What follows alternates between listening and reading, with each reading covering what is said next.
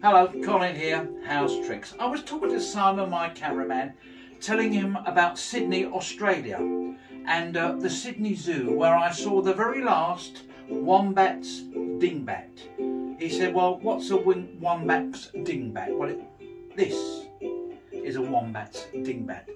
Um, the park keeper, wombats are very nice, uh, little marsupial creatures, and the park keeper had an idea. He'd give the wombat a dingbat, and the wombat would hop around, and people would uh, put money onto the bat, and uh, he'd give it to the keeper. The keeper will put it into his pocket. That would be called park his perks, and the wombat would hop around and hop around. He'd be doing this all day.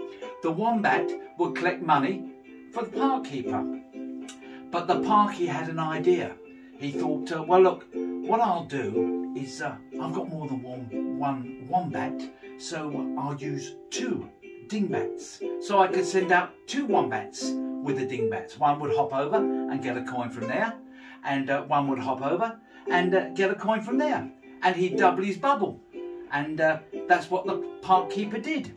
Uh, but the wombats didn't like this. They got a bit nut. They said, well, there's nothing in it for us. So they got crafty. One wombat with his dingbat would collect the money.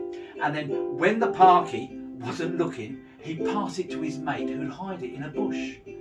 And uh, that way the wombat got a little cut, cut of the money. They collect some money, pass it over, and uh, hide it. Uh, but the older park keeper got crafty, so he took one of the wombat's dingbats away and just left one wombat with one dingbat.